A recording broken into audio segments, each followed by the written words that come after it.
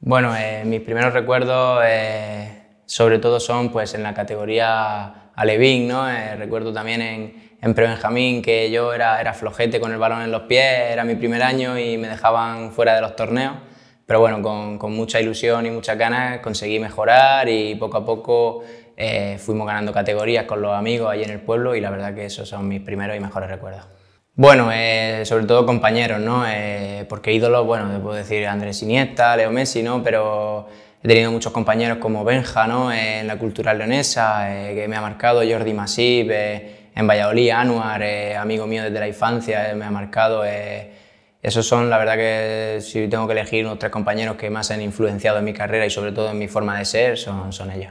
Bueno, el partido perfecto, eh, pues que te voy a mentir, que encuentre mis espacios en el campo, que haga jugar al equipo, que habilite a los compañeros, eh, por supuesto que el equipo gane y bueno, si puedo, si puedo irme con algún golito, mejor. Bueno, eh, la verdad que soy una persona muy curiosa, me gusta saber un poco de todo, me gusta informarme de todo, me encantan los animales, tengo bastantes perros, mm, me encanta mi vida en pareja, sobre todo también me gusta la política, me gusta todo en general, me gusta todos los deportes, la verdad que le doy un poco a todo. Eh, bueno, en futbolística eh, mi meta está muy clara, eh, ayudar al Girona lo máximo posible a conseguir la, la, permanencia esta temporada ¿no? y a crecer en las siguientes temporadas.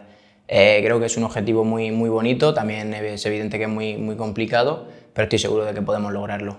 Y personales, bueno, la verdad que formar mi familia, cuidar de ella y mejorar como persona y poder ayudar a la gente. Sí, hombre, claro, sin duda alguna. Eh, mm, mi familia siempre hemos estado muy unidos, aunque yo llevo muchos años en Valladolid, tanto mis padres como mi hermano, y por supuesto mi mujer y ahora mi hija, ¿no? que, que es muy pequeñita y estamos muy contentos y muy ilusionados con, con ella.